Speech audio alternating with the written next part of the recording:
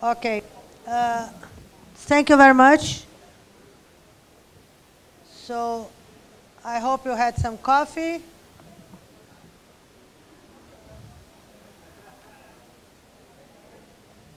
Okay. So I, I hope you had some coffee and you had opportunity to talk a little bit about bioenergy and, uh, and to drink some biomass. And uh, now I have the great pleasure to announce the lecture from Professor Charles Kinoshita uh, from University of Hawaii, one of our most senior experts in bioenergy. And uh, we are very proud to have him here or giving these lectures today with us. So Professor Charlie, thank you very much for coming from so long, so far from Sao Paulo to come here, and you have the floor.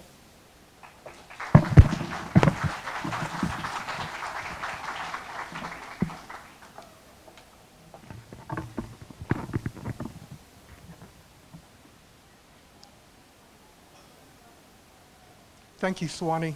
Uh, first of all, I'd like to thank the University of Sao Paulo for inviting me uh, to, um, to be part of this uh, school, uh, especially Dr. Uh, Suani Coelho and Dr. Uh, Jose Simões Moreira. I really appreciate all the hospitality they gave us. And today I'm going to be making two presentations or giving two lectures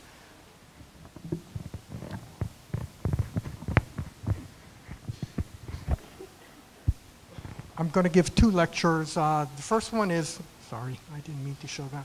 Uh, the first one is on, um, uh, well, I'll discuss very briefly right here, in fact, what the first one is all about. And it's pretty much the front end of um, bioenergy. Uh, I'll first talk about something that you've already seen at nauseum, uh, the global energy consumption and bioenergy's consumption or contribution, which uh, Dr. Coelho showed earlier. Uh, then some potential benefits and drawbacks of bioenergy, again, which uh, Suani talked about a little earlier. And then maybe depart a little bit, talk about some of the most important bioenergy factors that will help to hopefully advance um, bioenergy use uh, worldwide and, and uh, allow bioenergy to have a larger part of the energy mix. Uh, then I'll talk about uh, some of the energy crops that we've been looking at in Hawaii and elsewhere uh, and then bio-based heat and power. If I have enough time during the first session, I'll talk about first, second, third, and fourth generation biofuels, uh, which we've had a lot of discussion about already. And then in the afternoon, uh, I'll talk about other matters, uh, primarily the conversion processes and so on for drop-in biofuels. Um, you've already seen uh, this uh, in various iterations. I don't know if the numbers will be exactly the same as the earlier ones, but pretty much, you know, this will tell the same story that renewables right now uh, have a fairly modest contribution, although a growing one in the energy mix. Uh, right here, using 2016 uh, data from the World Bioenergy Association, renewables, which includes hydro, by the way, in this graph, uh, make up about 18% of the total energy mix. Uh, and uh, bioenergy is a significant contributor to that, in fact, the lion's share. Um, just showing you a couple of numbers, and, and they're not very clear here, but you know, Brazil has a total uh, energy consumption of uh, a little more than 10% of what the United States consumes. So the United States is a you know, tremendous consumer of energy, although I didn't realize it um, right now. In fact, we've been um, passed by China.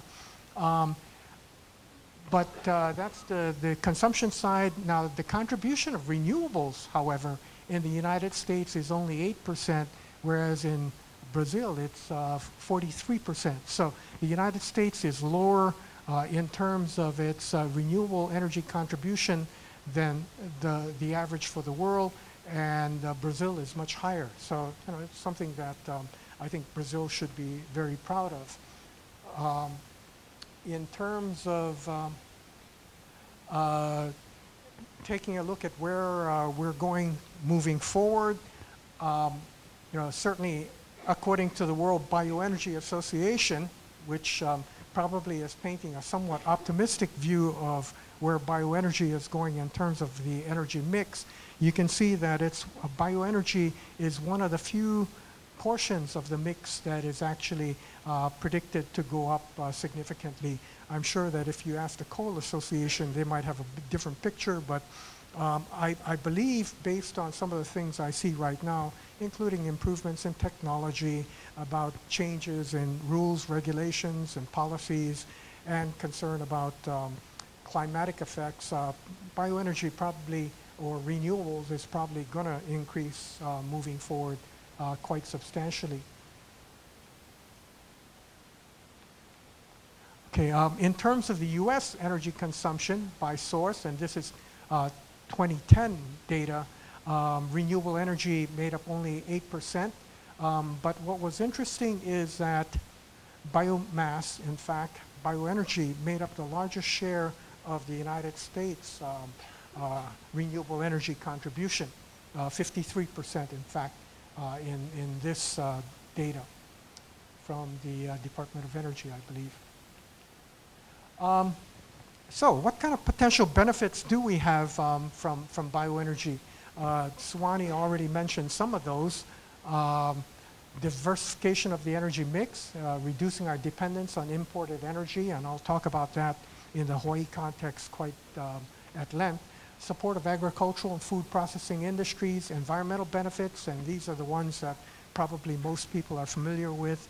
Uh, reduce global greenhouse gas emissions, uh, potential benefits to the ecosystem, although many would argue that in fact it's having exactly the opposite effect, and I'll probably talk about that more than the positive benefits. Uh, improved air quality, uh, especially if you're talking about seizing open field burning of sugarcane or something like that, that would have a significant impact. Um, biodegradable fuels, that is, fuels that are bio-based are more biodegradable, so they pose a smaller uh, threat to uh, some of the ecosystem. Uh, reduce landfills, I'll talk about that in a little bit. And then a very important one, socioeconomic benefits, regional and rural economic development, and employment opportunities. Um, now, let me talk about some things in the Hawaii context, uh, you know, because we are a unique location. Um, I hope many of you have visited in the past. Um, we're the most remote, we're the most remote populated landmass on Earth. There's no other place on Earth that you can find that is more remote from every place else. Um, you can see here, you know, all of our neighbors. Um, uh, Los Angeles, the closest one that I can point to there, is 4,000 kilometers away. And then everything else is much farther away. And then, of course, Sao Paulo, uh, although it's not necessarily our neighbor, is 13,000 kilometers away. So we're, we're far away from everything. We uh, import almost everything we consume in the state. The two major things that we import are food, and more than 85% of our food is imported, and more than 85% of our energy resources that we consume in the state is also imported. So we're highly dependent on others for the very basic necessities uh, in life, food and energy. Um, uh, you know, Suani talked about this in depth. Uh, the one good thing about bioenergy is that it is carbon neutral. Uh, I should go back to the last uh, slide.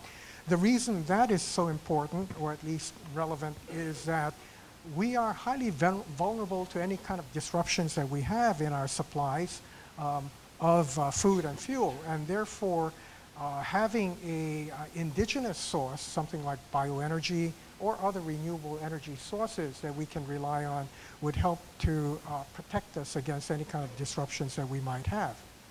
Um, as, as you know, everybody knows, uh, bioenergy is carbon neutral, at least uh, in theory.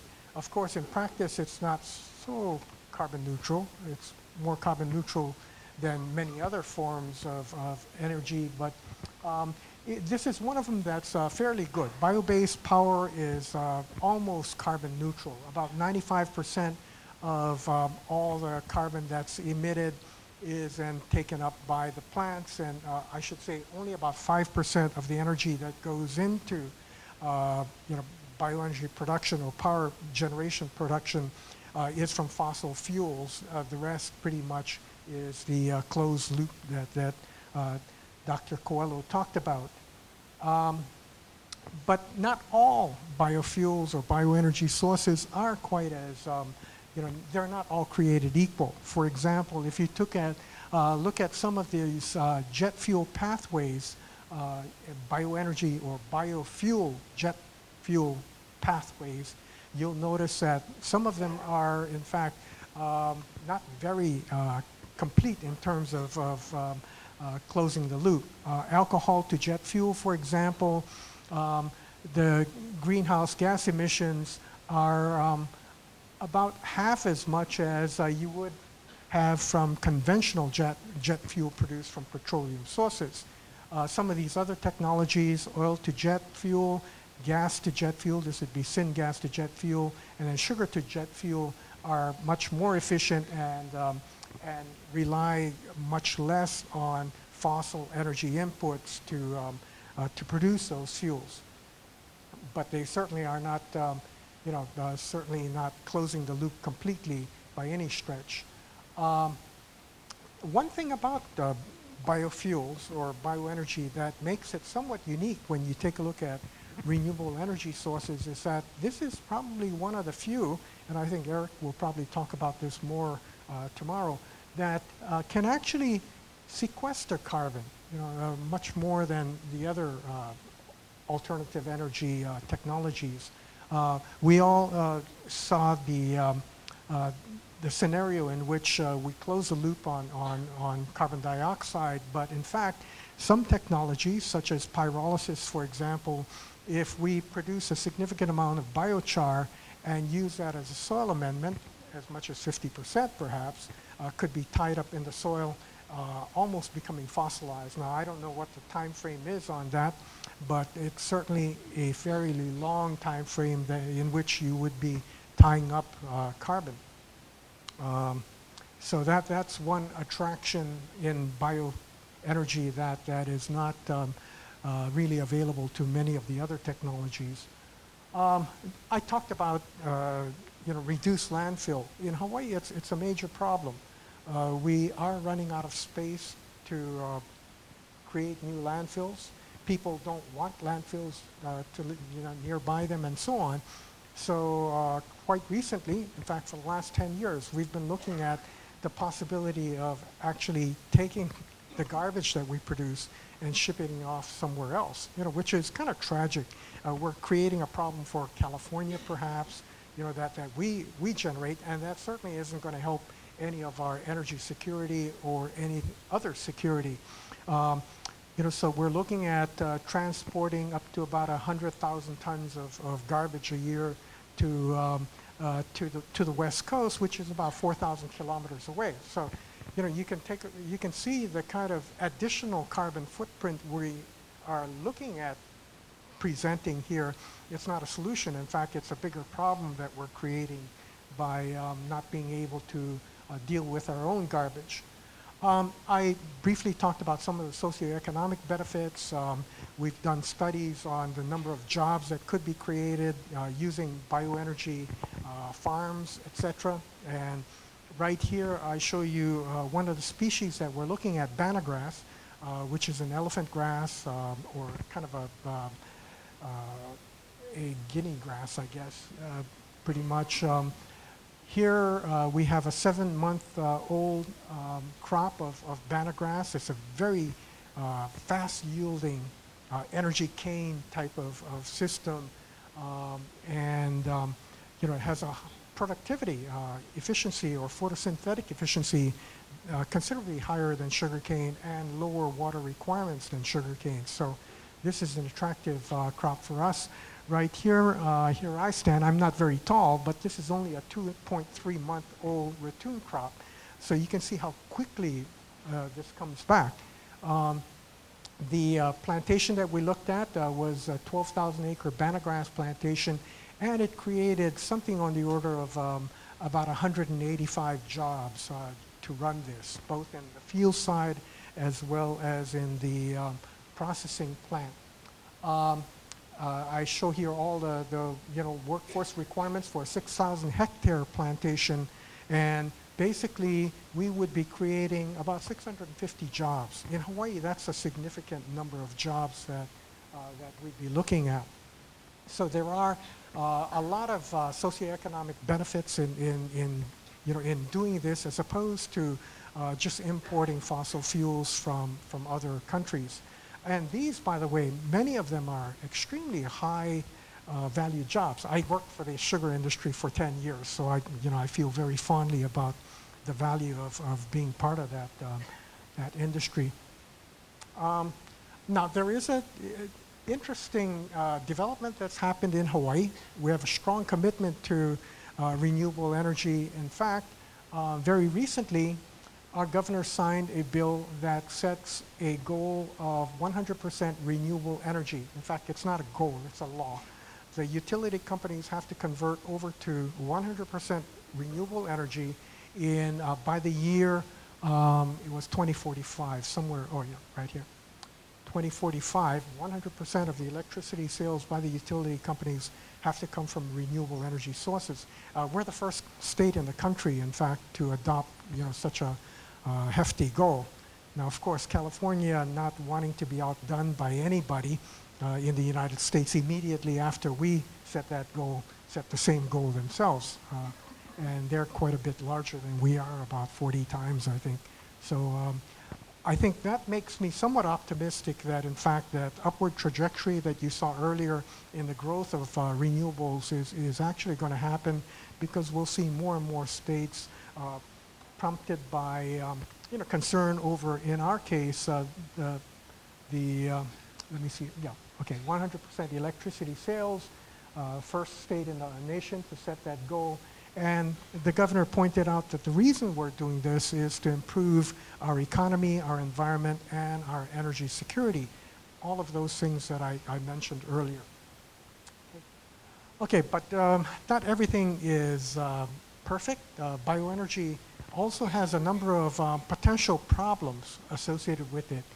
Uh, it has a relatively low efficiency in converting solar energy into usable energy end products. Uh, you folks took a look at PV earlier uh, or heard about it. Many of you are, have signed up for that. Uh, you know, PV systems are, are quite efficient, even though they have their limitations in converting insolation into commercial or, or usable energy. Uh, in biomass, uh, the, the conversion rate is a lot lower. Um, there's often a marginal energy output to input ratio, and, and uh, Dr. Coelho talked about that in depth, and uh, many of the questions uh, that were uh, posed this morning talk about that issue. a major one right now is a concern over food versus fuel, and, and Suani touched upon that as well. And obviously, there's a potential negative impact on biodiversity and the ecosystem uh, that we can't ignore. But much of it depends, as, as Dr. Coelho mentioned, in the type, uh, in, in your management system, how you manage your uh, cropping systems. Yeah? Okay, uh, the first one, low conversion efficiency. Um, you know, I guess uh, there's a saying universally that the only things in life that are certain are death and taxes. And it turns out that in bioenergy systems or in plants, in fact, it's the same thing. They have to face death and taxes. Um, taking a look at the solar energy that comes in, insul solar energy that's uh, incident on at ground level. Okay, forget about all the stuff that's reflected or these days more absorbed. Um, um, out of that, 100% of the solar uh, radiation that's incident on Earth uh, immediately about um, half of it is uh, taxed because it's really outside of the photosynthetic active region for biomass. It's outside of this uh, sweet spot, 400 to 700 nanometers, which is the only part that, that, that plants can actually photosynthesize. So we lose half of it right there. Uh, we also have incomplete uh, absorption. Uh, we have some wavelength uh, mismatch that all contribute to losses or taxes that are taken off the top before the plant can actually use it. Um, then there's inefficient conversion of ATP and NADP. These are cofactors that convert the uh, sunlight and carbon dioxide or carbon into uh, glucose molecules.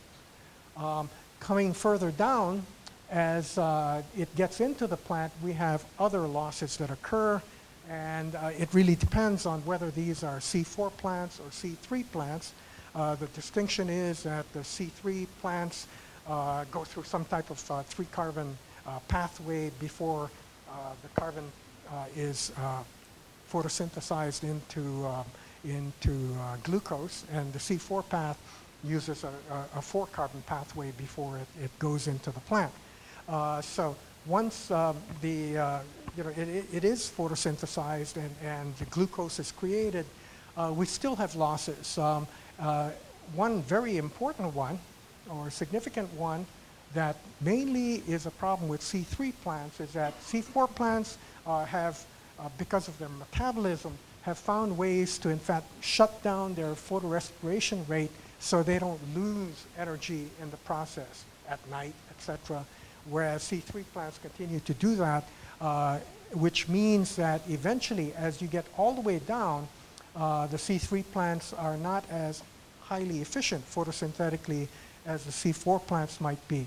So, cascading downwards, uh, going through the tax system, beginning with 100 units of uh, uh, insolation that reaches the earth, uh, the ground level, um, only 4.6% could be theoretically used um, or, or uh, converted into plant material, uh, energy, um, in C3 plants and only 6% in C4 plants. Now, these numbers are, are highly deceptive because they grossly overestimate how much, in fact, the plants are absorbing um, and using.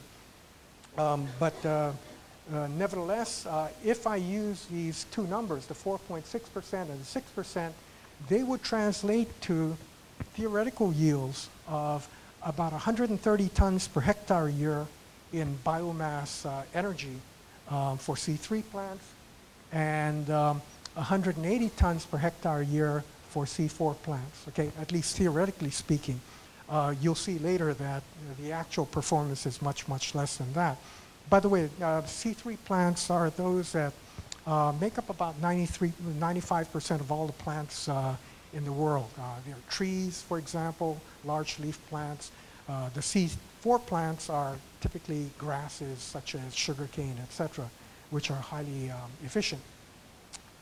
Okay, now the problem with um, these low yields, okay, is that, of course, if you're going to have some type of conversion facility, you're going to have to draw in all your biomass from different locations, and the lower your yield is, the farther out you're going to have to go to get your, to harvest your biomass and transport it. And it turns out that trans transportation of your feedstock is a fairly significant cost component uh, when you take a look at the total cost of delivering and processing biomass. I think probably around 15% or so, and could be much greater than that if you have to go much further out. Uh, for example, if you had a perfect uh, you know, plantation that were completely circular and your uh, conversion facility was right in the middle, oh, um, you'd be looking at a uh, transportation cost that's uh, proportional to the transportation distance, which would be inversely proportional to the square root of the yield, okay? Now that's if you had a perfect um, plantation. Uh, a few years ago, I took a look at two biomass plantations in the state of Hawaii. And um, the first one, uh, which is on, on the island of Oahu, uh, had a fairly nice configuration. Uh, you can see here, while not circular, it's, it's fairly, you know, uh, it looks fairly efficient in terms of its shape. if you had a conversion facility, for example, right here, you can see that probably, you know, if you kind of close your eyes a little bit, that uh, perhaps the cost would be inversely proportional to the square root of, of the distance.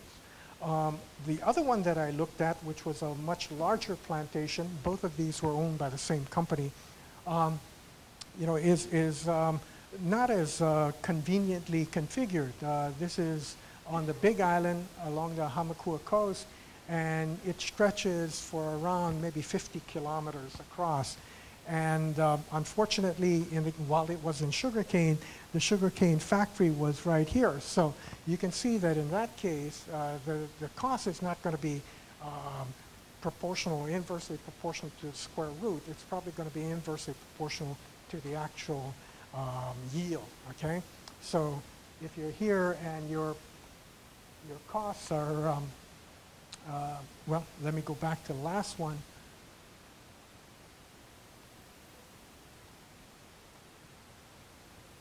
where, um, for example, in this particular case, if you had a circular plantation uh, and your yield were uh, 50, I mean, your 50 tons per acre uh, or hectare year, your, your cost might only be about $2.30. If your yield were instead much more typical of many um, you know, non-tropical species at 10 tons per hectare a year, your cost would be uh, you know, $5 per ton, significantly more. If you're in a plantation that's not so well configured, you can imagine that instead it would be $10 per, per ton uh, harvested. So, you know, that, that's it, that is a problem with biomass because the yield is, is uh, relatively low. Um, the other thing that's always been a concern uh, with, with bioenergy is the energy output to input ratio. Uh, for biofuels, it hasn't been impressive in many cases. Uh, Dr. Coelho talked about, uh, for example, corn ethanol. And here you can see, in fact, you know, maybe 30 years, 40 years ago, um, it turns out that corn ethanol had a negative, uh, you know, energy input to output. In fact, it was running into deficit. It probably took 1.2 gallons of uh, fossil fuels to produce one ethanol equivalent, uh, one gallon uh, ethanol equivalent or gasoline equivalent of ethanol. Uh, that has improved. Um, the blue is the energy input. The red is the energy output, the ethanol uh, energy output from corn. And you can see that at least the, the relative differences in those two, um, it's getting bigger. Um, and right now you're looking at probably one and a half or so. Uh, and if you add some of the byproduct credits, you can see that uh, it's, it's over two, but, but not, not that impressive overall. Um, by contrast, and, and here are some of them, I think uh, Suani even has this uh, graph in her presentation tomorrow with corn, sugar beets, and wheat. Um, the energy uh, balance is, is not so great. Um, corn 1.4, uh, you know, wheat 2.0, but sugarcane is really uh, one of the most efficient crops in terms of having a good energy output to input ratio. And part of it is because, um, you know, the energy inputs are, are fairly reasonable and the, uh, and the productivity of the crop is, is so extremely high. Um, so, um, in fact, I think this data came from uh, this university. Um, you know, moving on, the food versus fuel challenge is, is a significant concern. If you take a look at the arable land use per person, uh, you know, universally, whether you're talking about North America, Europe, Central America, uh, Central Asia, etc., you know, um, South Asia, uh, the world right here, um, the uh, amount of uh, arable land that we have available to us per person is continuing to drop, uh, partly because we're losing some of that land, but mostly because our population keeps increasing. So, you know, we're going to have a hard time just feeding people in the future. And now if we're going to have to then uh, set aside a lot of that acreage for energy crop plantations, we're going to have a much bigger challenge in, in trying to feed and fuel our population. Um, now, one promising thing, uh, at least note, is that uh, if we go to second generation fuels, okay, which don't rely on food crops, uh, they tend to be a lot more stable in terms of their pricing uh, than uh, some of the food crops, uh, which are highly volatile. For example, looking at the last uh, 10 years or so, you can see that um, in the case of palm oil and uh, sugar, the prices have been highly volatile, and some have argued that some of the, uh, the, the price spikes that we've seen in the past have been due to you know, conversion of some of these um, uh, food crops into energy uses. By contrast, if you take a look at um, hard logs, um, during that same period, uh, the price has been relatively stable. Now, I'm not saying that it's necessarily because this is not a food crop, but more than likely that was a factor in terms of at least tempering the volatility of, of uh, the prices over the years. Um, in terms of biodiversity or diversity in general, uh, that's very important in Hawaii. Uh, we are, I think, one of the most diverse locations on Earth. We're very small, but in fact, our, you know, within our small state, we have 11 of 12 soil orders, so we're almost the entire world uh, in terms of our soils. And we're 10 out of 14 climatic zones. Uh, we're one of the few places where, in fact, you can snow ski and then go snorkeling probably uh, with a two-hour drive, you know. Um, so um, uh, we're highly diverse, and that is very important to us. However, we have been uh, very unfortunate in terms of our diversity or our, um, our endangered species, for example. This is something that came out of the Huffington Post. Um, wow, it was updated only uh, less than one year ago. And uh, the title was Hawaii is the Endangered Species Capital of the World.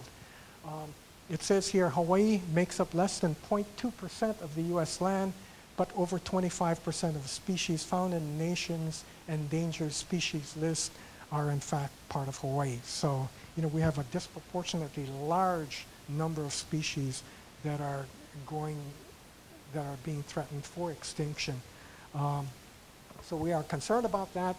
Um, we feel that there is some bit of optimism on the other hand, taking a look at, um, uh, at uh, Brazil, for example, we see here that, um, you know, their sugar industry uh, makes up only about 2.8% of the total uh, arable land um, area, and there's still a significant amount, about 30% that is available for expansion uh, if you went into biofuels uh, for the sugar industry. In fact, much more than sugar industry holds right now. Um, what is uh, somewhat more, I think, optimistic is that, or at least gives me reason for optimism, is if you take a look at the uh, conversion efficiency of ethanol per hectare in Brazil, it has increased quite substantially. Right now, it's at, um, it, whereas it used to be about 4,000, now it's uh, over 8,000 liters per hectare year. So with continuous improvements in efficiency, hopefully the size or the footprint of the uh, sugar industry doesn't have to you know, increase. Um, they can absorb much of that with uh, increased uh, efficiency and new technologies. Okay, and then uh, finally, uh, impact on biodiversity and the ecosystem. Um, energy crops, particularly C4 species, have high water requirements. Uh, for example, and I think Suani talked about um, sugarcane water use. Uh, I got to applaud Brazil for its efficiency in terms of using uh, water. In Hawaii, when we had a sugar industry, which by the way closed down last year, our last mill went out of production when I started working in the sugar industry, we had uh, about uh, close to 200,000 acres, and, and last year we're down to zero. Um, and part of it is because uh, of the way I think we used to grow sugarcane. Uh, Suani mentioned that uh, most of the sugarcane here, at least in the Sao Paulo area, is rain-fed. In Hawaii, uh, that wasn't the case. Most of our plantations that in fact survived were irrigated plantations. Um, and it turns out that sugarcane, not surprisingly, being a C4 plant, uh, is a very thirsty plant. It consumes about 1,000 kilograms of water for one kilogram of dry matter. So, you know, so if, if you're irrigating your fields, you're going to have to pay for all that water. Uh, just as an example, the two plantations I showed you earlier, we did an analysis for the, the, the company that owns that land, and they wanted to go into ethanol production. Uh, and, and we noted that in one case on the Hamakua coast, uh, the amount of rainfall was very high. I mean, I think on that plantation they have about 80 inches a year. I can't make the conversion here, but um, and so the amount of applied water irrigation water was very low. By contrast, the other location on Oahu uh, needed about half of its water to be applied through irrigation. And uh, basically, from an economic standpoint, what it meant was, depending on how much the water cost, and we do have to pay for that water, by the way, uh, to use that water. Uh, if we went to the worst case scenario, $1 per um, uh, thousand gallons of, of water that, that we use. Uh, in the case of this Kawailoa plantation, the cost of just the water alone to irrigate the sugar, uh, sugarcane or energy cane would have been 61% of the value of the ethanol that we produce. I mean, just for the water. Okay? Uh, now, for the uh, Hamakua location, where in fact most of the water is rain-fed, uh, the impact is much smaller. Even at the highest cost for water, uh, it would just represent 26%, but that's still a significant uh, cost factor. Um, so uh, we've taken a look uh, in Hawaii at a whole host of different types of uh, energy feedstocks. In fact, much of my life was spent in, in, in, looking at these and trying to evaluate them for their efficacy, how efficient, how you know they were in, in, in terms of producing biomass. Some of the crops that we looked at, uh, eucalyptus, of course, is, is very big in, in Brazil. Um, uh, some of the tropical hardwoods are you know, Leucaena, um, Casuarina, etc. We took a look at, at, all of those, and those were all tropical hardwoods. Um, Banagrass, uh, the one I showed you earlier, uh, the scenario that we looked at for one of the plantations, uh, that, that very tall grass with very high yields. Um, we, we tried that on, on Oahu, grew about a thousand acres of that. Um, energy cane. We grew that on Maui, tried that for a while uh, with very, very high yields, by the way. Um, and then uh, most recently, we have worked with a private company in looking at uh, Pongamia. I don't know if um, Brazil grows any Pongamia. It's a nut um, crop, oil nut crop, and the yields of uh, Pongamia are extremely high, uh, not quite as high as perhaps palm oil, but um, probably higher than uh, almost any other. Jatropha, know, I think it's higher than Jatropha. Uh, so that looks very promising, and because there's the possibility of producing a, an animal feed byproduct, we're, we're quite excited about that. And then, of course, microalgae. We have, or at least at one time, we had one of the largest microalgae farms in the world. No longer, of course, um, because there are some very big ones uh, coming up now. And, uh, and, and we looked at all of these different crops for their productivities, et cetera, their yields. And um, so moving along, uh, you know, what are the important points or factors in bioenergy? Well, uh, you know, we have uh, important factors that deal with uh, the, the feedstock, uh, important factors that deal with the conversion and then important factors that are relevant to the uh, final end product. Uh, as far as um, the biomass feedstock goes, of course, biomass yield properties and the feedstock costs are, are very important. Probably feedstock costs is the most important. Um, intermediate or, or in, the, in between uh, in terms of the conversion, the conversion yield, of course, is important, the conversion efficiency, but again, the conversion cost is you know, what really determines whether something is going to be viable. Uh, and then finally, on the back end, the value of the energy product and any kind of byproducts that we can get out of this uh, is, is important. Our feeling is that uh, unless we can produce a byproduct, um, none of these are, are, are going to be viable, at least not in the short term. And then underlying all of that, of course, are the environmental, social, and other factors which we need to consider. Um, let's talk about feedstock costs only for a second. Um, you know, it turns out that biomass really isn't that expensive a feedstock when you compare that against the incumbent uh, fuel oil uh, at $70 a barrel, and that's the number I found uh, about 10 days ago for the cost of uh, fuel oil, translates to $11.70 per gigajoule. If I had to harvest trees or banagrass or something like that and deliver it to a plant at $100 a dry ton. $100 a dry ton, which is, by the way, quite a bit higher than most um, studies assume it'll cost. My assumption, it will cost that much. But that still translates to only half the cost of fuel oil in terms of your feedstock cost. Okay? So uh, inherently, I think biomass has kind of an advantage over fuel oil in terms of being a fairly cheap feedstock to use. Now, there are many other issues, of course, that might turn the tables, and uh, the conversion costs are extremely high, and, uh, and there might be some you know, gross inefficiencies in the conversion as well. Okay? Um, some of the important properties in, in biomass, I, I, talked about them. The first one is moisture content. If you took a look at just uh, you know, combustion, uh, for example, in the use of a boiler, you can see here that most, uh, you know, maybe trees and biomass feedstocks are uh, somewhere between 50 and 70 percent uh, moisture content, and um, already you can see a significant decrease in the theoretical efficiency that you would have in terms of that. So it does impact your energy conversion quite significantly.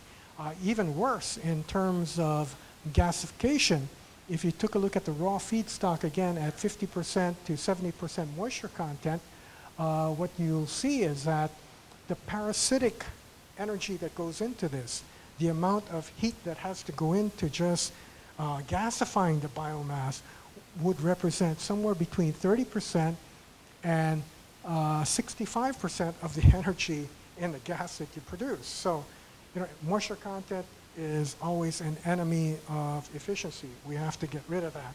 But there are ways, of course, mechanically dewatering it or drying it that, that might help to um, abate some of that.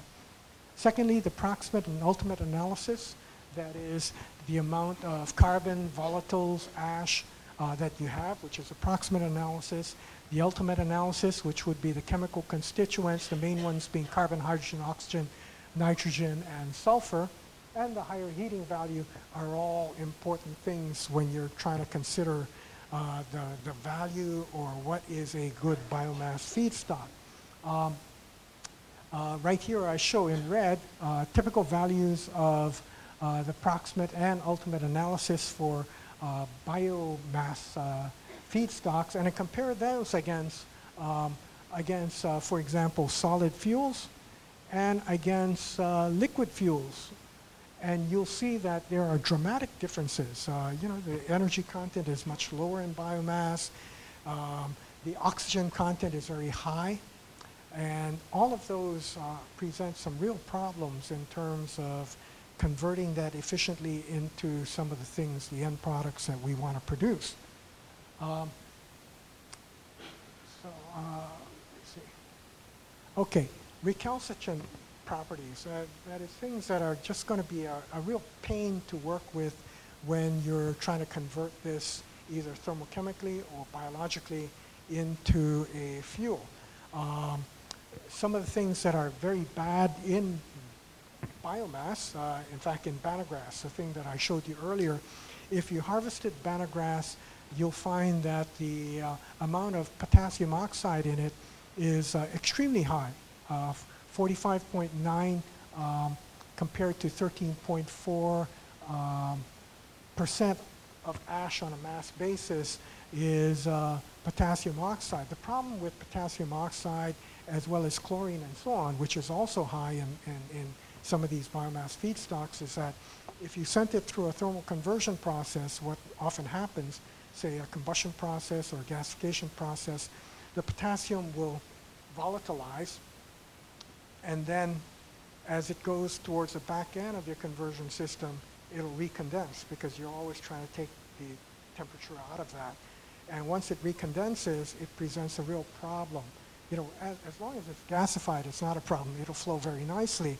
But if it recondenses, and then it'll start trapping all of the particulates, etc., and then you'll have fouling problems in, in, your, um, in, in your product. So we've been spending quite a bit of time uh, looking at ways of uh, trying to get rid of all of these uh, you know, recalcitrant materials. Uh, much of the work that we did um, at the University of Hawaii has dealt with uh, gasification of uh, biomass, different types of biomass, including bagasse and banagrass. And, and the things that um, most of it, or much of it, was on trying to get rid of all of these problem constituents.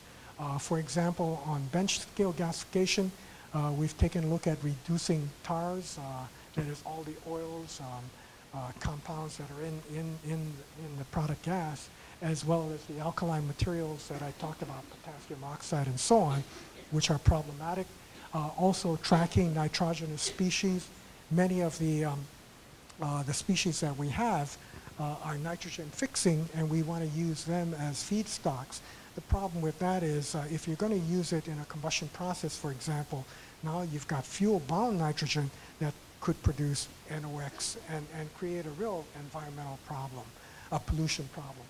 Uh, you know, uh, Suani alluded to a gasifier project that I actually I was hired at the University of Hawaii to go after, which we did succeed in getting um, as a state, um, and it was a scale-up facility uh, designed to handle about 100 tons per day, and uh, we sited it at a sugar plantation. Uh, much of the work that we did there was uh, targeted at, at doing hot gas cleanup, trying to clean up the material at a hot stage before things recondense, you know, grabbing the particles before they become a problem on the back end. I'll talk about that a little bit. So that's on the thermochemical conversion side. On the biological side, biological conversion side, uh, some of the important properties are uh, on the biochemical side are the lignocellulosic structure, and I'll talk about that in a second, as well as the compo um, chemical composition, which, come to think of it, I won't talk about at all. Um, if you take a look at uh, plant cell walls, um, what you'll see is that the plant, the plant is, consists of uh, three different types of uh, uh you know, cellulosic ma well, uh, material. Um, cellulose is, is a fairly significant um, component. It makes up about maybe 35 to 40 percent of, of plant biomass, depending on what kind of species you're talking about. Hemicellulose uh, uh, makes up probably about another 30 percent, and then uh, lignin makes up uh, usually about 30 percent. Uh, cellulose is a long chain of glucose molecules, yeah, just chained along. Hemicellulose is a long chain of pentose molecules, uh, five carbon sugars, hexoses, and then lignin is just kind of a mess of stuff, and it's the thing that gives plant its structure, so it has the ability to at least stand up, etc. Yeah? Um, now, um, you know, if, if we try to uh, convert this into ethanol today, and, and they're doing that right in, um, in Brazil right now, I believe is what uh, alluded to, you can uh, you know, hydrolyze biomass, break out the cellulose portion, convert that into glucose, and using yeast that uh, make alcohol in beer or anything else for that matter in ethanol, you can use conventional yeast to convert that glucose into, uh, into ethanol. Okay. The hemicellulose is a little more problematic. Um, you know, uh, in the past, uh, what happened was uh, most of the yeast that we had, the conventional commercial yeast, weren't good at converting uh, the xylose portion, the five-sided sugar portion, into ethanol. So um, we had to find ways to find new organisms or genetically engineer new organisms that would take the five-sided sugar and uh, produce ethanol out of it. And uh, I'll show you in a second what, uh, you know, pretty neat stuff went on to actually genetically engineer bacteria instead of yeast to then do what yeast do to other sugars, that is, produce ethanol. The uh, lignin portion is something that it, it, it's, it's, kind of a hot mess. We don't want to work with it. But it turns out that uh, every type of conversion process you have in the universe almost requires a certain amount of process heat. So we can always use the lignin, which would be the residual material that's left behind uh, in order to produce the, the process heat that we need. Um, the, um, let, me, let me just show you some yields of selected energy crops that um, most of these are, are data from Hawaii. Uh, Napier grass uh, and banana grass and so on. The fiber yield is about 47 uh, tons per hectare a year. At least that's what we're, we're, we're projecting on a commercial basis. Uh, sorghum, 22, miscanthus, uh, 22, and then it goes down. Uh, switchgrass, we don't grow any in Hawaii, but on the mainland, uh, this is a temperate crop, uh, you know, it, and that's probably the one that most of the U.S. is looking at its energy crop.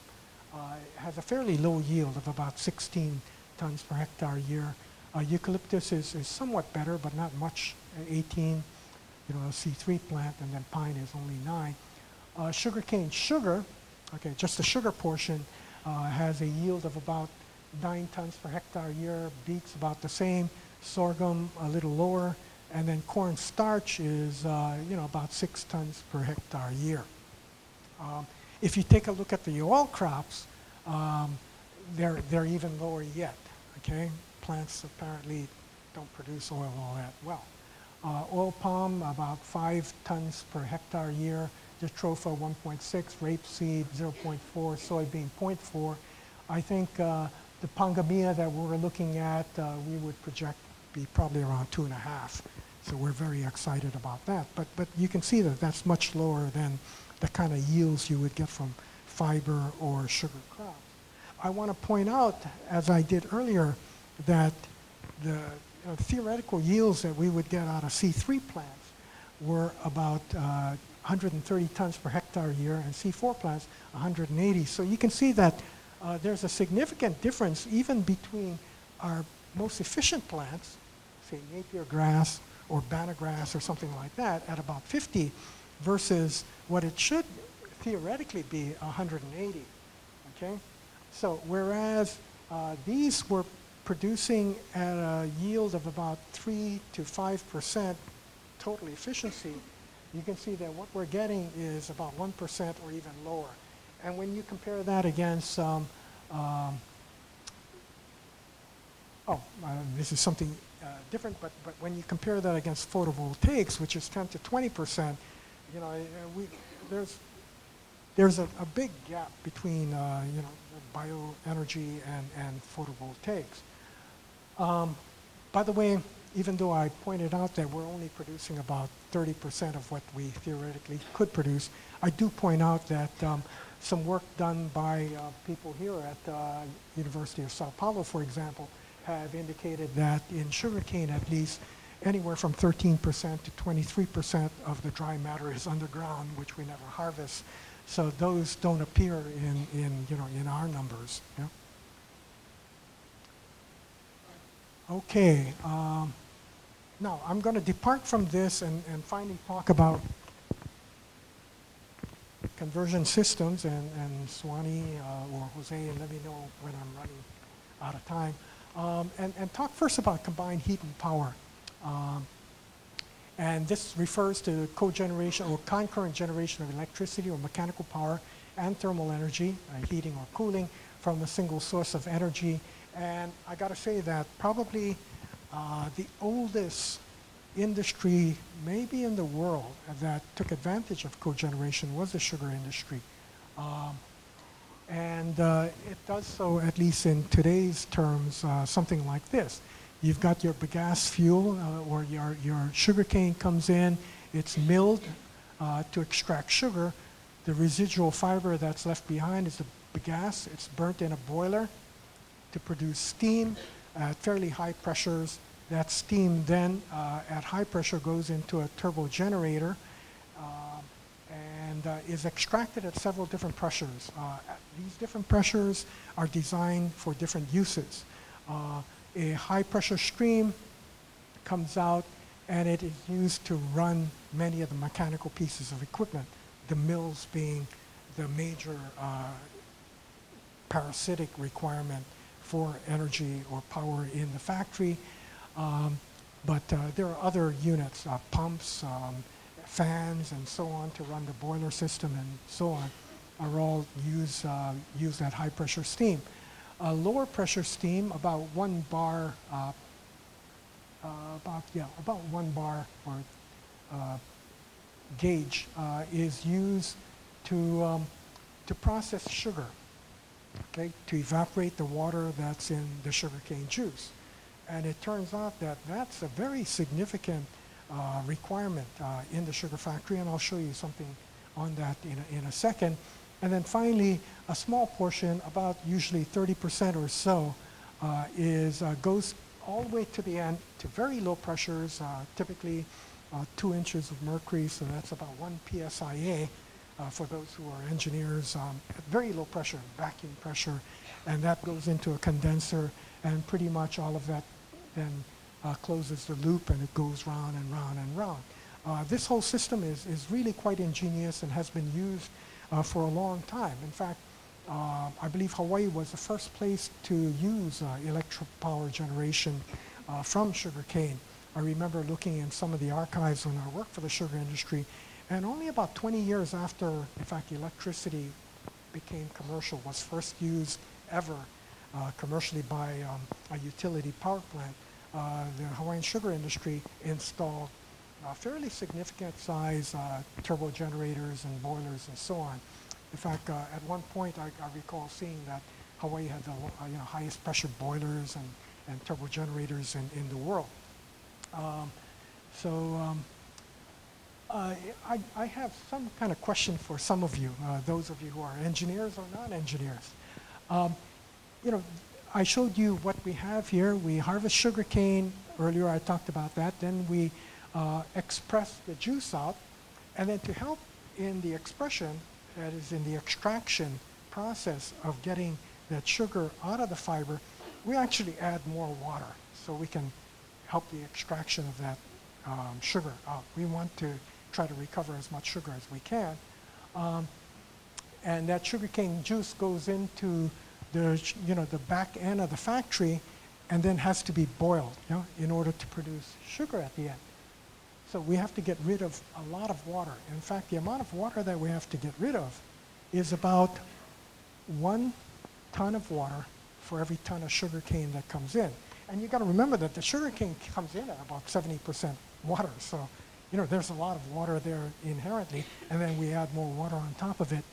Um, it turns out that one ton of sugarcane has 0.14 tons of bagasse fiber, which has a potential energy yield once you try to convert that into steam and usable energy of about uh, 1740 megajoules, okay? This is a problem for the class. Now, that 1740 megajoules of process heat has to evaporate one ton of water. That one ton of water is liquid, and in order to get into a vapor phase, needs at the very least 2260 megajoules is the latent heat of vaporization. That is, you have to put in that much energy to evaporate the water. Okay? In addition to that, I have to run mill equipment, you know, this and other pieces of equipment. That's not even generating a kilowatt hour of exportable electricity, okay? By the way, in Hawaii, we used to generate about, I think, 100 kilowatts, kilowatt hours per ton. So we generated a lot of electricity out of, uh, out of sugarcane. Uh, and we were by far the most efficient in the world.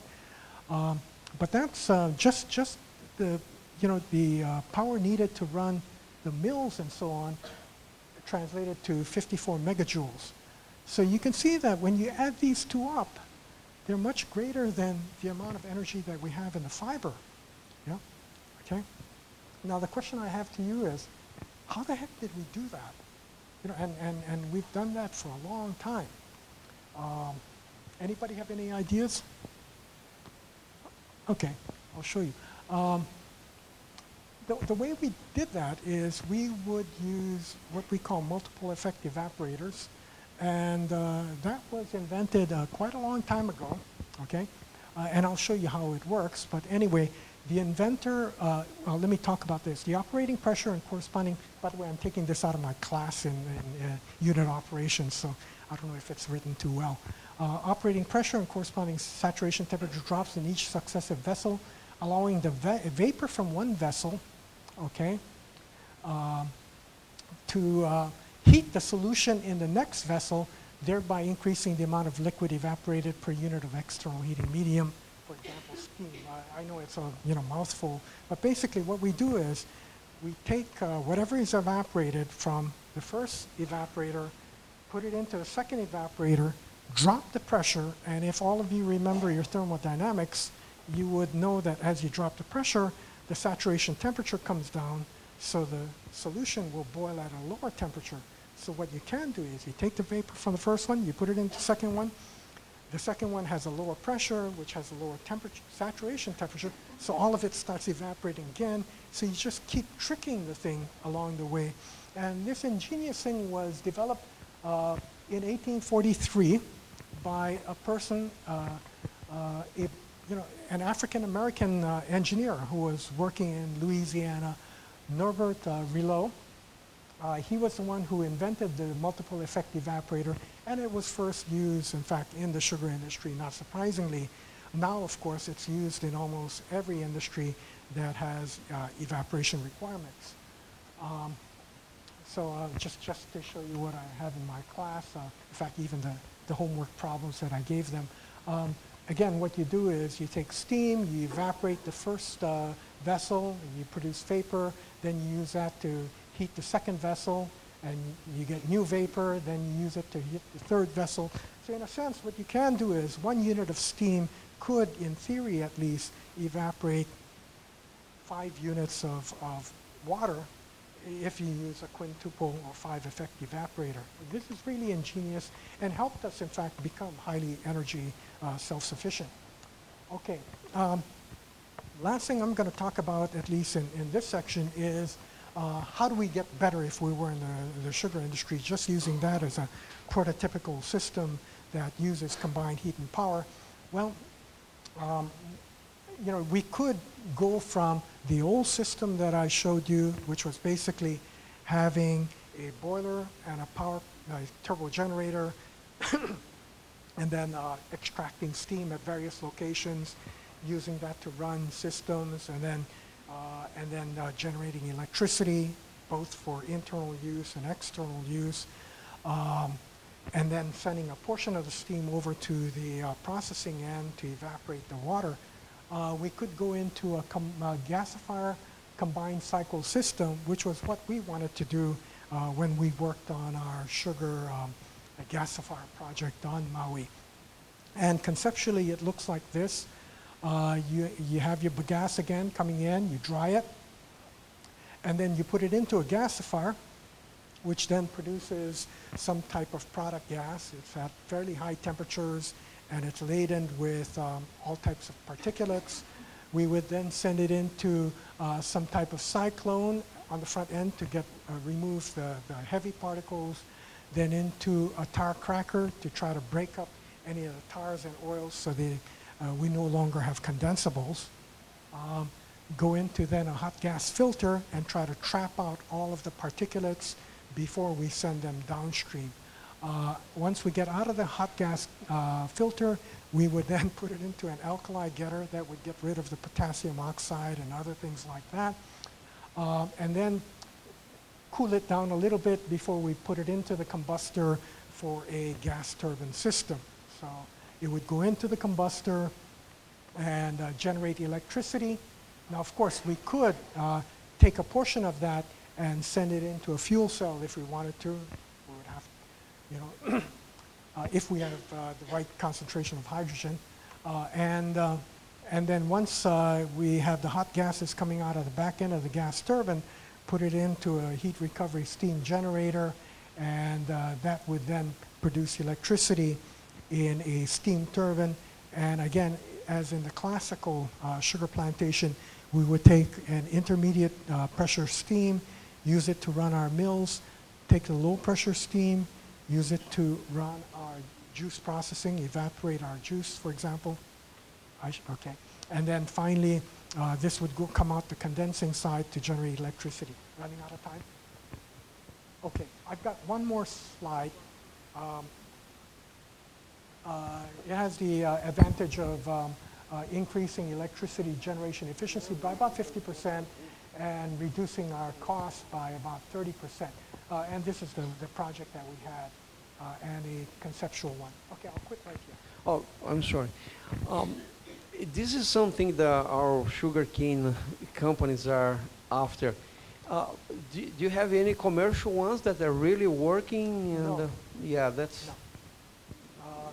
Our project ended uh, with loss of funding and and so on, so.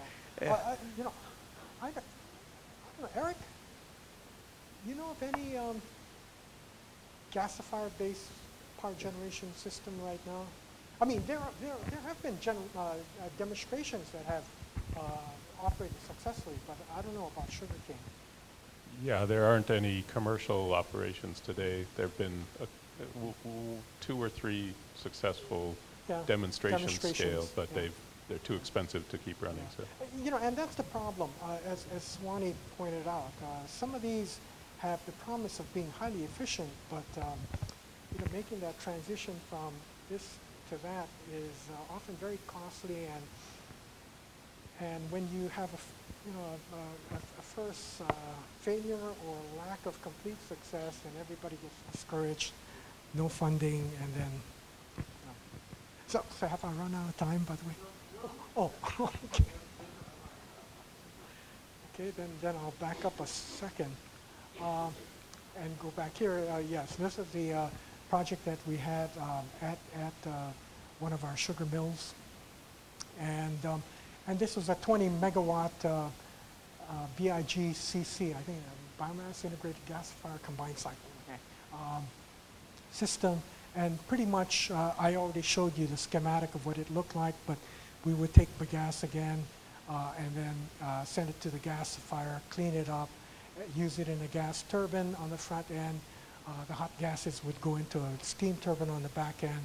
So we would have a combined cycle and we could increase the efficiency quite substantially uh, before we then go back through the loop again. Okay, I'm, I'm going to uh, end today's uh, presentation by having some discussion on first, second, and third and fourth generation biofuels.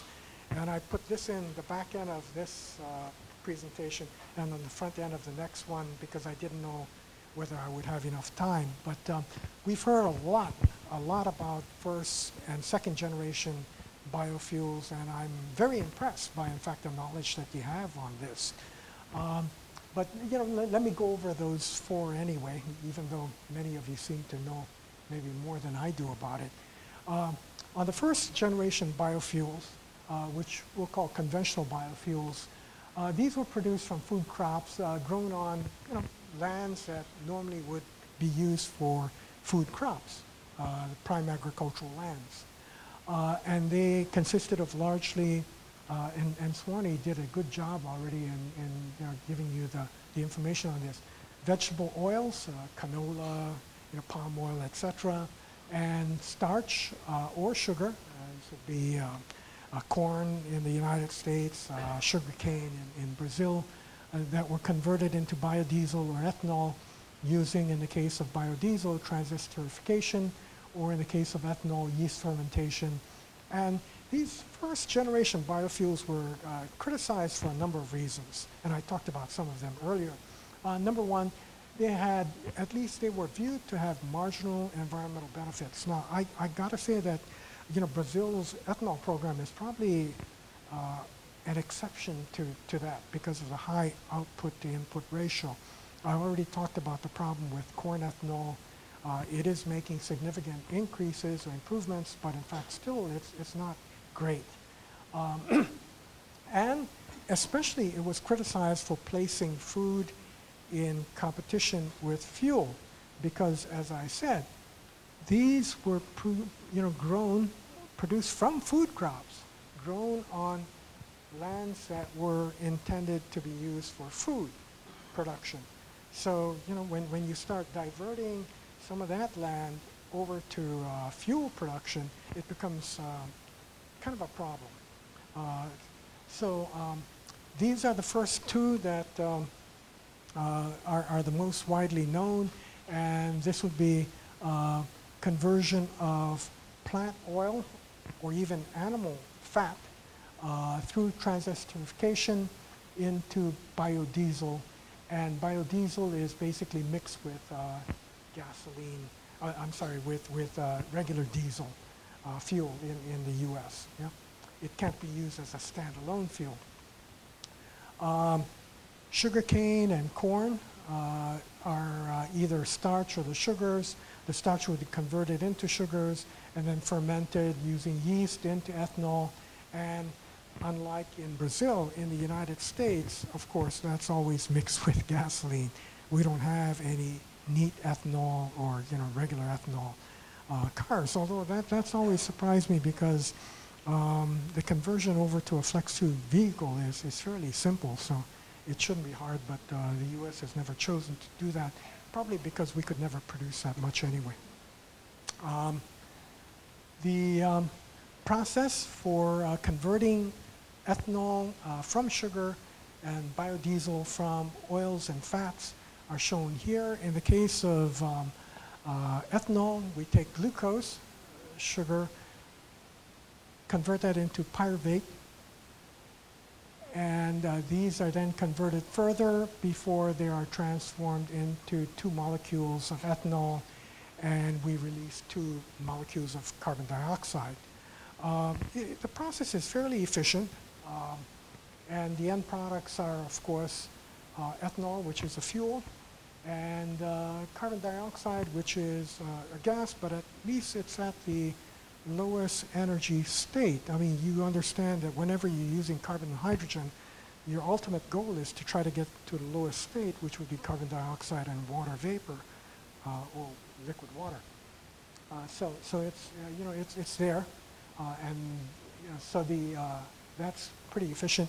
In terms of biodiesel from oil, fat, Uh, oils or fats, I take uh, one part of uh, oil or fat, and in in in in the presence of a catalyst, add three parts of some alcohol, mostly methanol is used, and that is converted into glycerol or glycerin, and then I get three units of uh, methyl esters or biodiesel out of that, fatty uh, acid methyl ester, FAME, or biodiesel. Um, so the, the, you know, the conversions kind of look like that. Here's one molecule of uh, glucose producing two molecules of carbon dioxide waste uh, and uh, two um, uh, molecules of ethanol. Here, one molecule of oil, whatever that means. There's really no molecule of oil.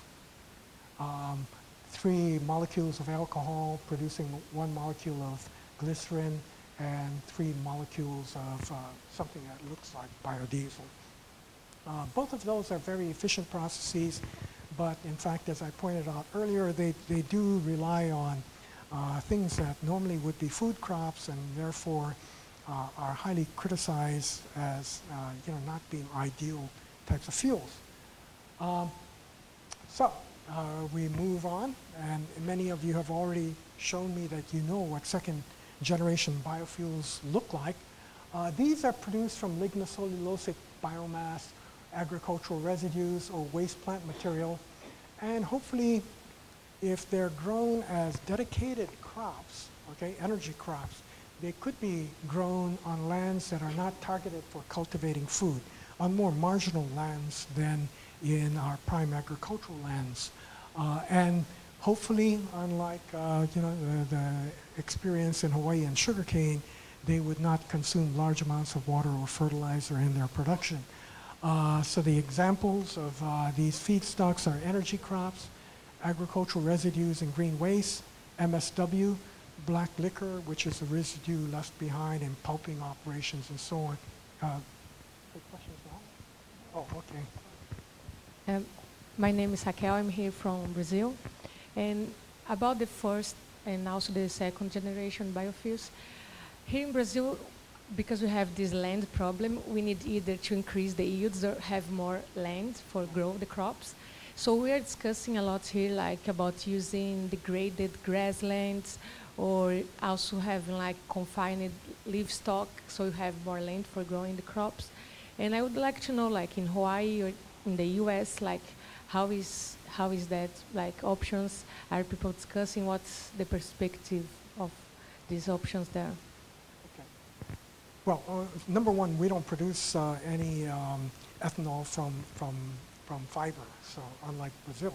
Uh, so we don't have any experience with that. But in terms of collecting sh- uh, residues, we have, uh, in some cases, sugarcane, for example, uh, in, in some cases gone to collecting uh, sugarcane trash, which would normally be burnt and then would create uh, some, some you know, uh, emissions problems and so on, and brought that back to the factory and processed that for electricity generation. So we've been trying to do some of that. It's, it's largely a, um, a, a cost issue, yeah? And, um, uh, and also, it's largely an issue of dealing with regulations. In many cases, we did that because we were forced to do that. Uh, the neighbors who lived around sugar plantations, they didn't like open field burning, so that forced us to, in some cases, at least when the wind was blowing in the wrong direction, harvest the entire crop, bring it back, and then process the, the trash. Uh, in, in Hawaii, um, not so much, you know, using um, plant residues, but of course we have for a long time uh, taken much of the municipal solid waste that we have and converted that into electricity. Uh, in fact, on Oahu, the most populated island in the state, 70% of the uh, population in the state lives on Oahu. Um, all of the municipal solid waste that is generated from residential uh, places are treated and used in uh, generating electricity. So, you know, we, we try to try to do that. In the future, I can see that becoming even more common. Did that answer your question? More or less? Maybe a little bit. Okay, um, and then examples of conversion processes, syngas uh, catalysis, uh, syngas to liquids using Fischer-Tropsch, biocatalysis, hydrothermal upgrading uh, are the ones that um, are most common for drop-in fuels. I don't show here, uh, you know, uh, sugarcane uh, fiber, for example, conversion, uh, because that doesn't produce a, a drop-in biofuel. Um, you know, one a digression for a second on that last one. Um, uh, we, you know, uh, Dr. Coelho talked about the conversion of sugarcane bagasse into ethanol, the fiber into ethanol, and for a long time that's been a possibility using kind of the process I talked about earlier, which was to break up the sugarcane fiber into cellulose, hemicellulose, and lignin, taking the cellulose fraction, which is a long chain of glucose molecules, and breaking that up and using that uh, with just regular yeast to produce ethanol.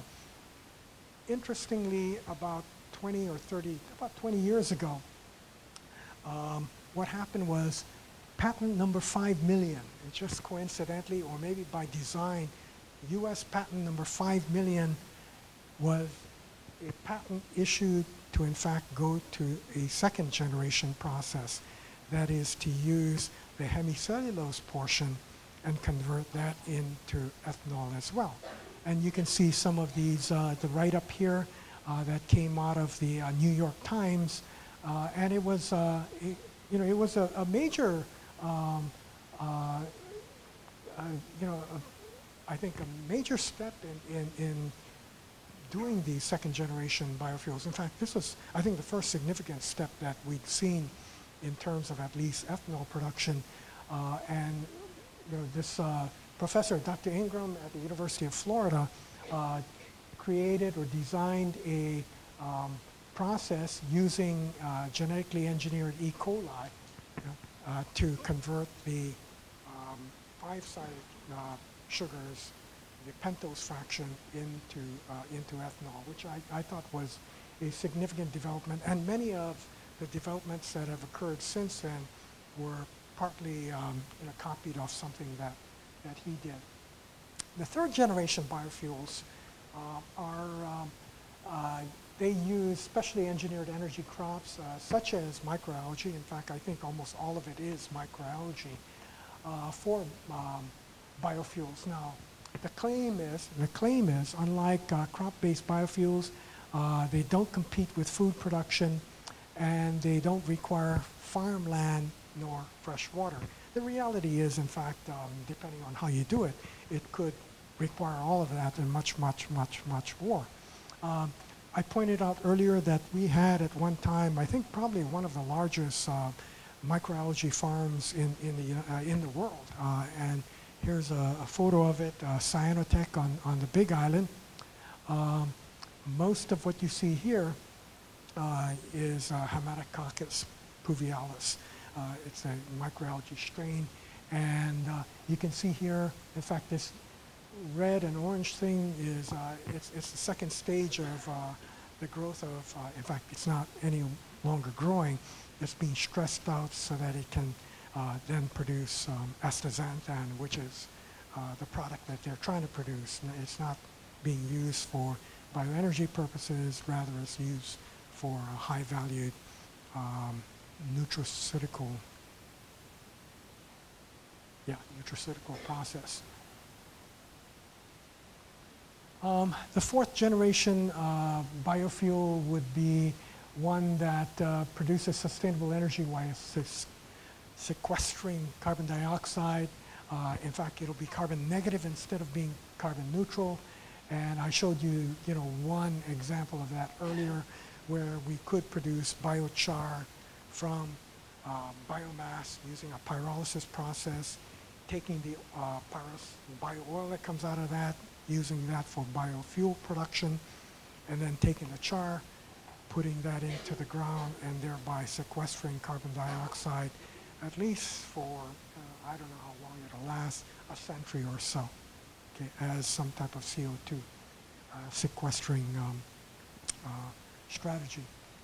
Okay, with that, uh, I conclude uh, this morning's session. I don't know whether I finished early or late or pretty much on time.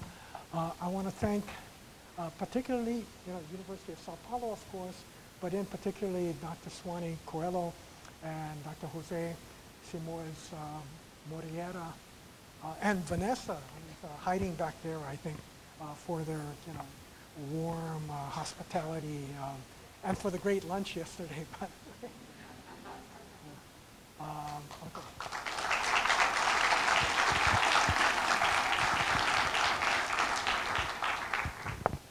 Okay, does anybody have any questions? And, and, you know, you're going to have to speak loud, slowly. Uh, Hi. do we, do we have a microphone? Oh, yeah, using the microphone. Uh, we don't have a traveling microphone anymore? Okay, we do have a, oh, okay, can, okay, we're gonna have that question first and then we'll, we'll do this one. Hi. Remember, What, what were the two rules? Loud and slowly. Hi, I am from um, Colombia. My name is Natalia Cano. I have two questions. Um, you showed LCA results um, for different technologies, uh, renewable and non-renewable resources, and the, these results uh, have the same boundary systems. For example, cradle to gate, uh, gate to gate, I don't know. And the second question is about the any application of industrial application of furfural or hydroxymethyl furfural generate in this process. Okay. Uh, the, the first question dealt with a cradle to grave analysis. And, and Dr. Eric Larson is going to talk about exactly that tomorrow. So I'll, I'll, leave, I'll leave that question to him, okay? So you can ask the same question tomorrow. Or, uh, Eric, if you want to answer it now, you can. You want to? Um, So if I understood the question, you were asking if the, it- if the different cases were on the same basis? Cradle to grave? Yeah. So that, it was just Oh. whether it was a consistent, I think the question was whether it was a consistent comparison from one case to the next. Um, which, which cases are we talking about? I think it might have been your slide with Michael Wang's results for jet, for jet fuel. Yeah, On which results? the jet fuel. Oh, yes, yes, they were all on the same basis, I'm sorry. Um, So it was So a it, it, for it has to be on the same basis to be a fair analysis, Yeah. yeah. And, okay, the second question dealt with, um, I'm sorry, she had one more second question. Yeah, what was the second question?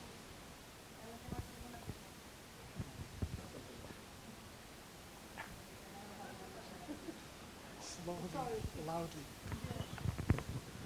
Uh, do you know the application of uh, industrial application for furfural and hydroxymethyl furfural generate into the process uh, mm, in the uh, pretreatment, pretreatment process uh, by gasification, for example?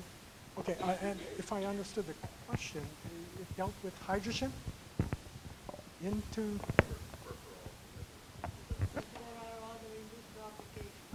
Oh, other applications for, for, for, for like gasification or something like? That?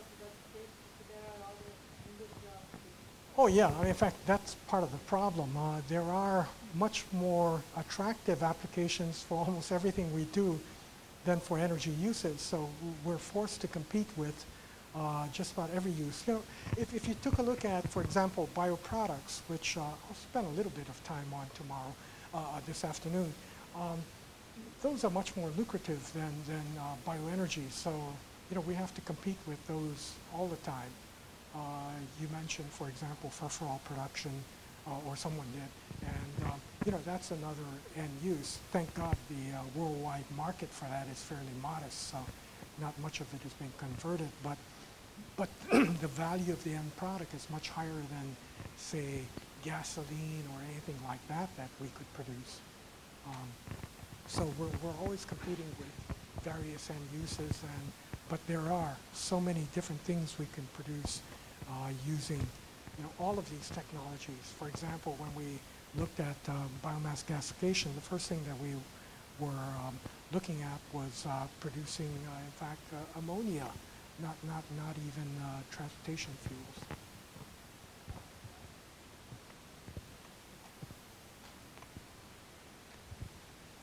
Uh, hi, my name is Christina. Uh, thank you for the very interesting presentation. Uh, I was a bit surprised to, to find out that Hawaii um, exports the, the waste over such a long distance. And uh, I wanted to ask whether the government um, is planning to invest more in uh, recycling, waste incineration, because this is also a very important source of energy. Thank you. Uh, the slide I showed was a was a plan. It never happened. Okay. Okay. So so we never shipped off 100,000 tons. Okay. Uh, I guess the threat of doing that and the expense of doing that changed our practices. And so today, uh, in the last 10 years, uh, all of our garbage has now been kind of shifted. We have complete sorting of all our garbage. So every week I have to sort my garbage out into uh, combustibles, which goes to our garbage to energy plant, into uh, green waste, which goes into um, composting, and then finally all our recyclables, which are recycled. So from a residential standpoint, almost none of it goes into the landfill, and that has uh, reduced the amount of, uh, or the increase in landfill requirements for some time. Uh, having said that, we do have a problem. Right now, our landfill, our present one, is under an EPA, Environmental Protection Agency, I forgot what you call it, but basically, we are not in compliance. The Environmental Protection Agency has told us, in fact, that we have to shut down our landfill, and we don't have any place to go. So we do have uh, significant problems. You're right. I mean, the government needs to step in and do something, and, and they're trying. Yeah. I think we're back in compliance now in terms of our landfill. Thank you. Aloha, Professor. Uh, uh, thank you for the lecture. Uh, my name is Dagon Ribeiro. I'm from Brasilia, the University of Brasilia. I, I work with microalgae. Ah. So the, the questions relate, um, have some uh, integrate system about the like different industry, like for first generation, the like microalgae generation, like uh, integrates, uh, like uh, make a lot of uh, like uh, ethanol at pro- biofuel production, ethanol production, together with micro uh, microalgae production, like using like CO2 and water. Have some kind of example like in Hawaii, like that. Yeah, Thank you. If I understood your question correctly about the integration of microalgae with other uses, uh, yes, um, uh, you know, uh, not, not so much the applications that you talked about, but of course, wastewater treatment has always been one option that they've talked about. Uh, and uh, something that I'll, I'll show a little later as one of the projects I gave my class was um, not quite dual application in terms of different fuels, but taking uh, solar radiation, splitting it up, as, as I showed, you know, only the par fraction can go into, uh, can be photosynthesized. And that's only half of the energy. The other energy that's below a certain wavelength and above a certain wavelength uh, really can't go towards biomass production. So the idea here is you have solar energy coming in, you split it uh, using filters or other things into the par fraction and the NARP par fraction, using the par fraction for microalgae uh, production and then using the non-par fraction for other uses, such as in photovoltaics and so on. So you produce algae and you produce electricity. Yeah. Um, and, and there have been other uses, but you know, energy use is about the lowest valued use for almost anything. So as soon as we start looking at other applications for microalgae, what happens is that becomes the only use.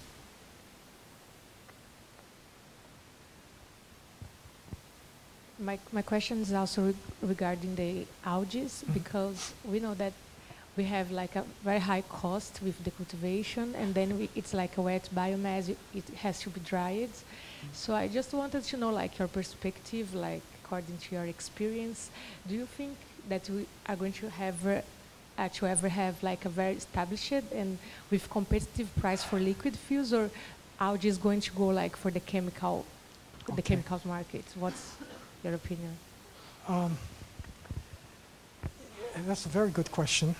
And you know, a lot of people have talked about, you know, the, the extremely high yields, high yield potential of algae, uh, pretty much reaching the, the, the photosynthetic efficiencies that I talked about, you know, 110 tons per hectare year or something like that, you know, three times as much as we could get out of any land-based biomass.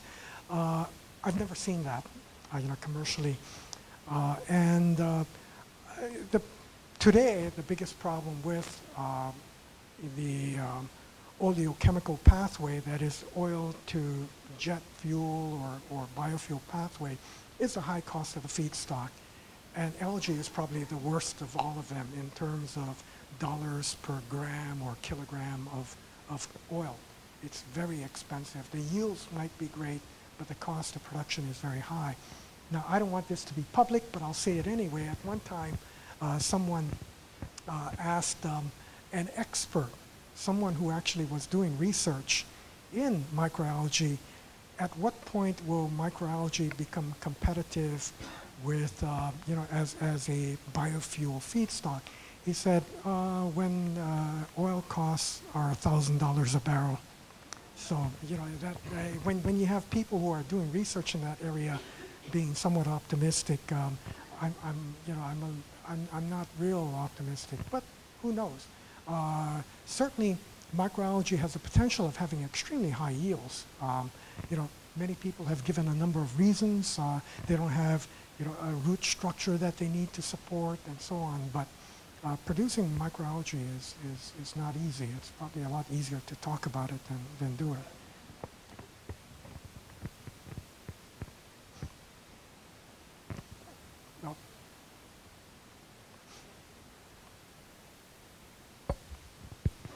Hello, my name is Larissa. Thank you very much for your presentation.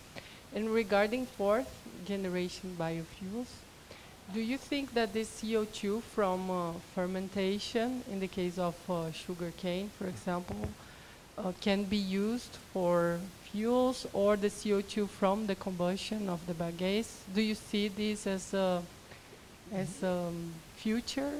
Okay. Uh, the, the answer would be no. Uh, I, I don't see how, at least from the standpoint of CO2, uh, extracting energy out of CO2, you can't extract energy out of CO2 because it's at the lowest, it's at the ground state in terms of the energy pyramid. Again, you know, CO2 and H2 are at the bottom state. Now, uh, our friend there who talked about microalgae, of course, you can always use CO2 as a feed for microalgae, and there in the process of photosynthesis, it will use the CO2. So that would be one example. And of course, any of the CO2 that goes into the atmosphere is taken up by plant materials, so it is used in a sense for generating uh, energy, but, but not, not, not in a real explicit manner. It's always kind of in an indirect manner. Yeah. Yeah, just mean like uh, power to gas or power to fuels that you use the CO2 and then together with hydrogen you can produce methane or other synthetic Yeah, fuels. So Okay, okay. In this kind of way that I I- that I mean. I, I guess you could. I mean, that, you know, much of what you're talking about is kind of reversing the direction of, of what we are trying to do right now. So, uh, yes, uh, all chemical reactions are reversible. So, you, you know, whatever you did to get to CO2 can be reversed. But um, I don't see that commercially uh, making much sense. But who knows? No, I, I, don't, I don't know that much about, about that.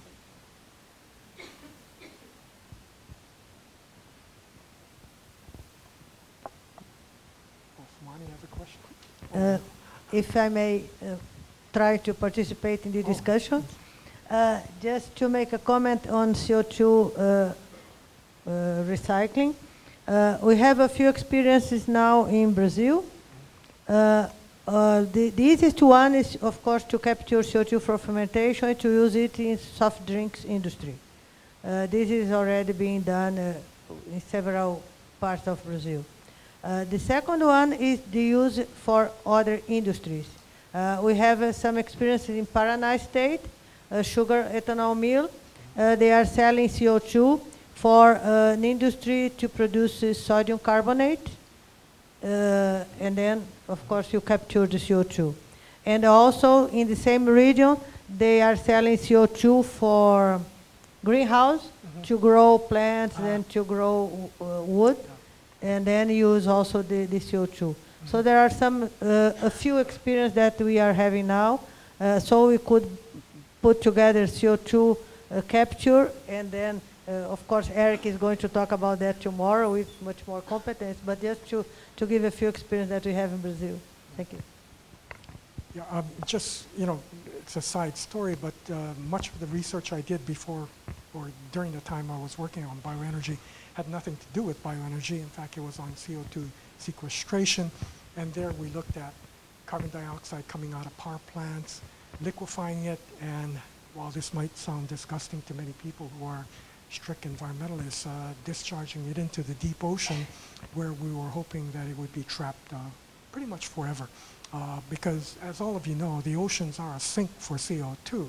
What we wanted to do was just accelerate the process a lot more and maybe have it tied up as, as um, CO2 clathrates, as, as, as ice structures at the bottom of the ocean.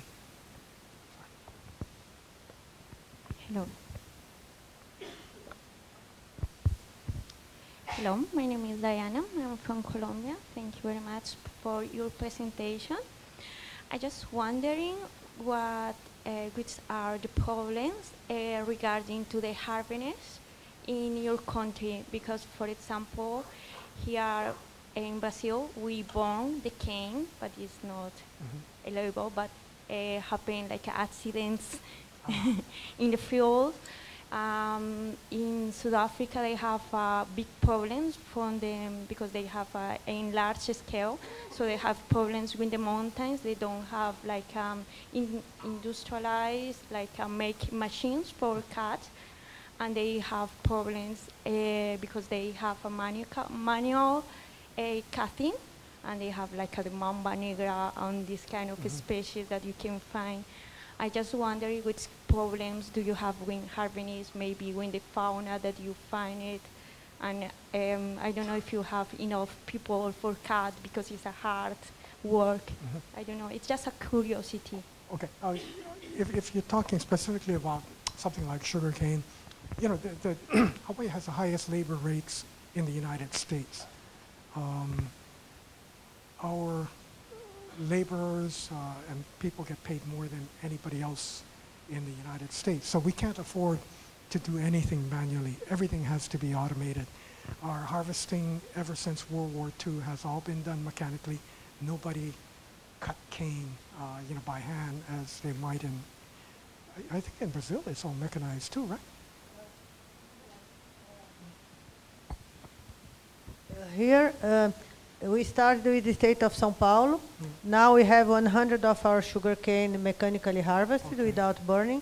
And the other states like Goiás and Mato Grosso do Sul already starting to, uh, to be mandatory, the harvesting uh, with machines. Uh, only in Northeast, we have the manual harvesting and the burning because there we have similar as sa- she said, uh, the sugarcane plantations are in small hills, so the slope is too high, Uh-huh. and then the machine cannot uh, work on that. So, uh, but uh, in Northeast is only 20% of the sugarcane in the country. Yeah. But it's more or less uh, probably the same situation you mentioned in some areas in Colombia. Because of the slope, the machines cannot work, so you have to make it manually. Yeah. Is that so? Yeah, in Hawaii, the labor rates, again, are, are so high that we can't do anything manually. Uh, there are very few crops or anything that, that we can do by hand. Everything has to be mechanized. Um, Hi, Professor. Yes. I'm André from Brazil, and I want to cast, question you about uh, the energy used for the, the biomass that you show it today. Uh, when I say energy use, I say to make elect- electricity. See, we do have a lot of um, sites and plants here that use uh, biomass from pinus or from eucalyptus. And I want to know if uh, the the use of the ener- for energy maybe uh, increase or maybe uh, become more um, sophisticated by using, for for instance, microalgae. If we do achieve a better efficiency, like uh, we are limited by Carnot when we are using this kind of Rankine cycles or uh, Brayton cycles, but uh, um, I, s- I know that the U.S. Department of Energy are trying to use CO2 as a working fluid, so to become more efficient, or using fuel cells that doesn't uh, up the, the Carnot limit does, doesn't uh, doesn't uh, have been up, doesn't apply to the, this kind of technology. So do you think that okay, maybe if we reach uh, higher efficiency to convert uh, this kind of chemical energy in, in electricity, it could be, you know, I, instead I have a forest, I could have a building with a lot of microalgae, uh, and and then to and then remove, for instance, the cost of transportation of the biomass to the power plant. Do you think that it, it could be possible? Okay, um, I don't know all of the question that you asked, but certainly in, in terms of um, improving our efficiency, I'm only going to talk about those that are related to bioenergy. Okay. Um, you're right. Uh, I think I showed a slide there in which we uh, have looked in the past at uh, producing hydrogen from biomass and then using that in a fuel cell, as uh, you probably know. Um, you know, whereas all of the cycles that I talked about, the Rankine and the Brayton cycle, the steam turbine and the gas turbine cycles, uh, they're all restricted or capped by the second law of thermodynamics. If you go into a fuel cell, it isn't restricted the same way. So whereas the maximum efficiency I could ever get in any kind of uh, heat engine like you saw there would be the Carnot efficiency, uh, with a fuel cell, I'm not restricted by that. I, I could I could actually get mu- much higher efficiencies than that. So we have looked at uh, fuel cell technologies, but uh, you know, but but uh, all of those things are, are very costly. Um, the technologies that we have in place right now, the boiler steam generator slash gas turbine system, I mean steam turbine system, is uh, you know it's it's it's hundred years old, and uh, it works very very well. Uh, some of these others um, have the potential of much higher efficiency, just as you know, Dr. Coelho talked about the possibility of doing second generation biofuels. Uh, just you know, making that bridge uh, to get there is is um, is very difficult. So we haven't been able to make much improvements in in using better strategies that might be more promising uh, beyond those technologies that we have right now. I, I